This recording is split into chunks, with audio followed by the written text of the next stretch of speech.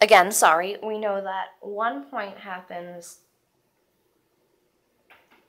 at um, 15 comma 50 so that would be that point right here.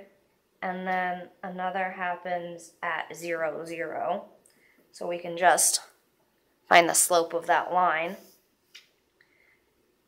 So 50 minus 0 over 15 minus 0 and you end up with 3.3 meters per second squared. Um, now the next interval is pretty easy. It just has a slope of zero.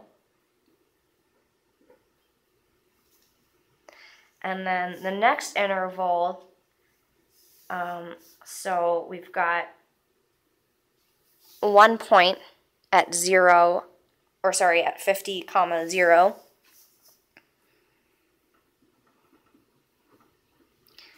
And then we've got another point at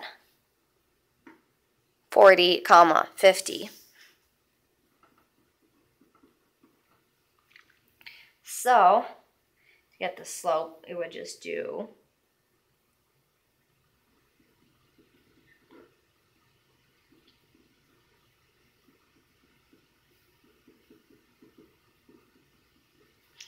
and you end up with negative 5 meters per second squared.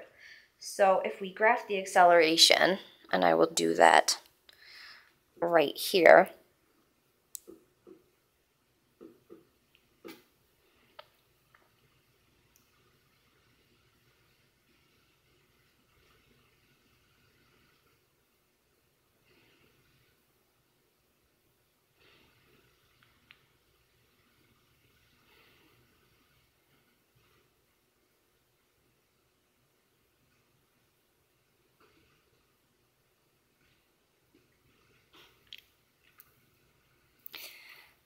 So between 0 and 15 seconds, the object has an acceleration of 3.3.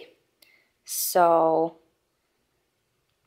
that's about 3.3. So it's going to look like that.